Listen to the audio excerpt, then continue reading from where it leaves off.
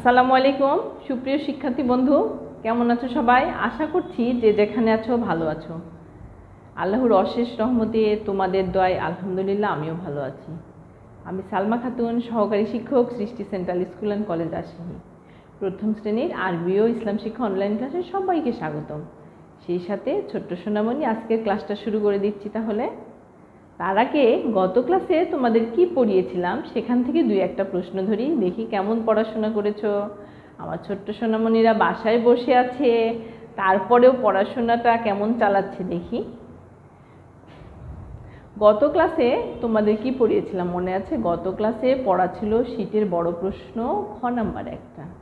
আচ্ছা সোনাবাবু, তুমি বলো তো, জাকাত কাকে বলে? থ্যাংক ইউ খুব সুন্দর বলেছ। এবার আরেকজনের জন্য প্রশ্ন হচ্ছে, তুমি বলো তো মামনি, জাকাত কাকে বলে? বাহ, চমৎকার বলেছ। অনেক অনেক ধন্যবাদ, কারণ তোমরা অনেক সুন্দরভাবে পড়াটা মুখস্থ করে সুন্দর করে বলতে পেরেছ। কারণ এখন আমাদের সামনে কিন্তু টিউটোরিয়াল পরীক্ষা প্রতিদিনের ক্লাসের পড়া, প্রতিদিন পড়ে আমাদের না দেখে মুখস্থ করে হোমওয়ার্ক করতে হবে, বারবার বাসায় বসে লিখতে হবে প্র্যাকটিস করতে হবে কিন্তু। তা না হলে আমরা কিন্তু ভুলে যাব, পরীক্ষায় ভালো করব না। আর অবশ্যই আমাদের হাতের লেখার দিকে খেয়াল রেখে লিখতে হবে। যেগুলো লেখা দেখবে, গ্রুপে অনেক লেখা আছে, অনেক সুন্দর। তাদের দেখেও আমরা কিন্তু শিখতে পারি। অক্ষরগুলো ঠিক করবা লাইনগুলো সোজা করে, ফাঁকা ফাঁকা করে সুন্দর করে লিখতে হবে। তাহলে আজকের ক্লাসে পড়াতে যাচ্ছি। দেখো, আজকে পড়াবো শীতের প্রশ্ন, ঘ থেকে চ পর্যন্ত তিনটা প্রশ্ন পড়া। আজকেও কিন্তু আমাদের নতুন পড়া, দেখো তো। আমাদের নবী হজরত মোহাম্মদ সাল্লাহ সাল্লামের পিতার নাম কি? ঘ নাম্বার। আমাদের নবী হজরত মোহাম্মদ সাল্লাহ সাল্লামের পিতার নাম কি? পিতার নাম হচ্ছে আবদুল্লাহ। আমাদের নবী হজরত মোহাম্মদ সাল্লাহ সাল্লামের পিতার নাম কি? পিতার নাম হচ্ছে কি?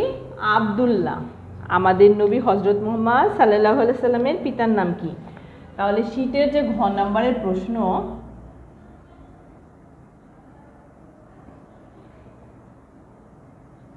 আমাদের নবী ছোট্ট সোনামণিরা বারবার পড়তে হবে, পড়লেই কিন্তু আমাদের খুব সহজে মুখস্থ হবে। আর আমি তোমাদের মুখস্থের সুবিধার্থে কিন্তু লিখে পড়াচ্ছি, দেখো। নবী হজরত মোহাম্মদ সাল্লাহ আলহিসাল্লামের পিতার নাম কি? হজরত মোহাম্মদ মোহাম্মদ সাল্লাহ সাল্লামের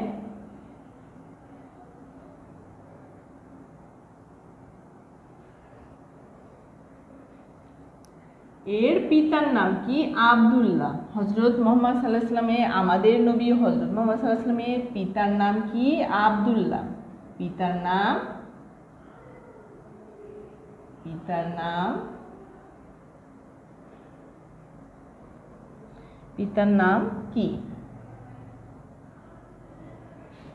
তাহলে আমাদের নবী হজরত মোহাম্মদ সাল্লাহ সাল্লামের পিতার নাম আবদুল্লাহ, পিতা, অর্থাৎ আমরা কিন্তু বাবাও বলতে পারি, বাবা, পিতা, আব্বা, একটা হজরত মোহাম্মদ সাল্লাহ সাল্লামের পিতার নাম কি? আবদুল্লাহ। আর একটা প্রশ্ন আছে, দেখো। জান্নাত অর্থ কি? জান্নাত অর্থ কি? ও নম্বরে প্রশ্ন, জান্নাত অর্থ কি? জান্নাত অর্থ হচ্ছে বেহেস্ত জান্নাত অর্থ কি? জান্নাত অর্থ বেহেস্ত জান্নাত অর্থ কি? অর্থ কি? জান্নাত অর্থ বেহেস্ত জান্নাত অর্থ কি? জান্নাত অর্থ বেহেস্ত আমার সাথে বারবার পড়তে থাকো, খুব সহজে মুখস্থ হয়ে যাবে। তাহলে আমাদের নবী হজরত মোহাম্মদ সাল্লাহ পিতার নাম কি? আবদুল্লাহ। আমাদের নবী হজরত মোহাম্মদ সাল্লাহ পিতার নাম কি? আবদুল্লাহ। জান্নাত অর্থ কি? জান্নাত অর্থ বেহেস্ত জান্নাত অর্থ কি? জান্নাত অর্থ বেহেস্ত চ নম্বরে আরেকটা প্রশ্ন হচ্ছে, আমাদের নবী হজরত মোহাম্মদ সাল্লাহ সাল্লামের মাতার নাম কি? আমাদের প্রথমে শিখলাম কি, আমাদের নবী হজরত মোহাম্মদ সাল্লাহ সাল্লামের পিতার নাম কি? এবার শিখব, আমাদের নবী হজরত মোহাম্মদ সাল্লাহ সাল্লামের মাতার নাম কি? মাতার নাম আমিনা। আমাদের নবী হজরত মোহাম্মদ সাল্লাহ সাল্লামের মাতার নাম কি? আমিনা। আমাদের নবী হজরত মোহাম্মদ সাল্লাহ মাতার নাম কি? আমিনা। আমাদের নবী নবী হজরত মোহাম্মদ হজরত মোহাম্মদ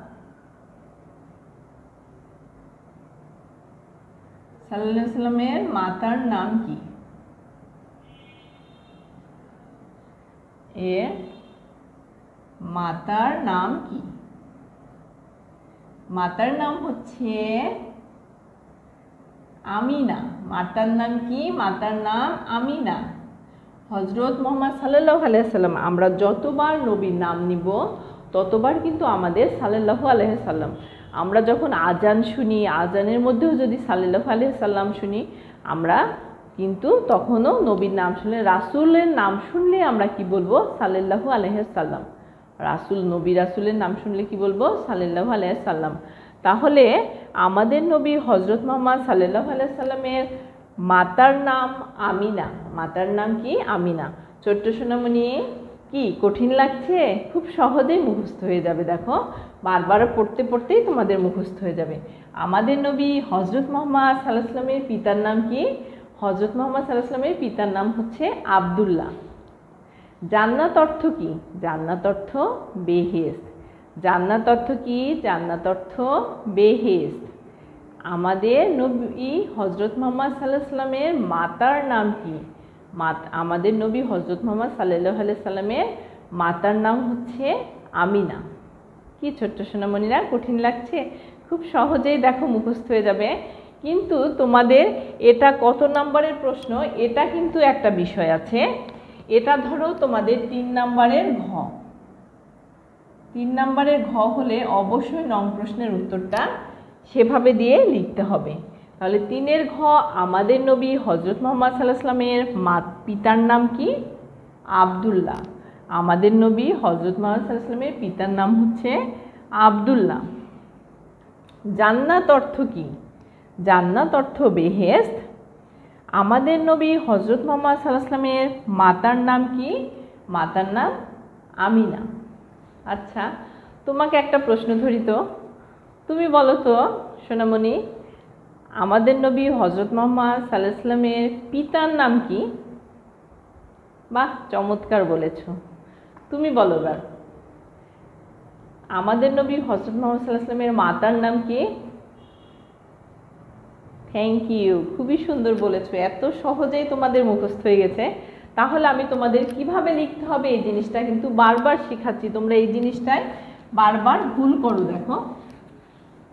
আমাদের যদি এটা তিন নম্বরের প্রশ্ন হয়, অবশ্যই আমরা তিন নং প্রশ্নের উত্তর দিয়ে আমরা কিন্তু উত্তরটা লিখব। কি করে লিখব? তিন নং প্রশ্নের উত্তর। তিন নং প্রশ্নের উত্তর দিয়ে আমরা কিন্তু তিন নং প্রশ্নের উত্তর।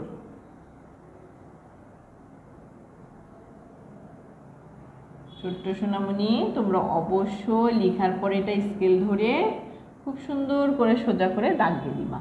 তারপরে আমাদের আসলো কি, ঘ নাম্বারে আমাদের নবী হজরত মোহাম্মদ সাল্লাহ আলাইসাল্লামের বাবার নাম কি? বাবা বা পিতা, আব্বু কিন্তু একটাই, নাম কি? আবদুল্লাহ।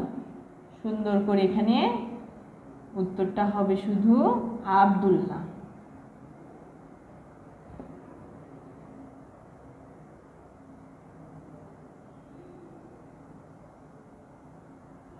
কি হলো? এই বানানটা কিন্তু তোমাদের কাছে কঠিন মনে হতে পারে। সরেয়া বয়ে দয়ের সু লয় লয় যুক্ত আকার হ। আবদুল্লাহ, আমাদের নবী হজরত মোহাম্মদ সাল্লাহ আলাই সাল্লামের পিতার নাম হচ্ছে আবদুল্লাহ। আরেকটা প্রশ্ন পড়লাম কি? ও নাম্বারে জান্নাত অর্থ কি? জান্নাত অর্থ বেহেস্ত জান্নাত অর্থ কি? জান্নাত অর্থ বেহেস্ত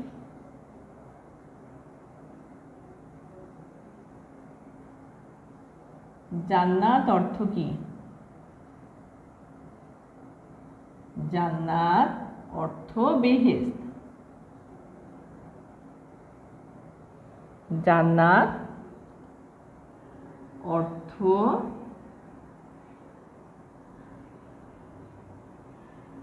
বেহেস্ত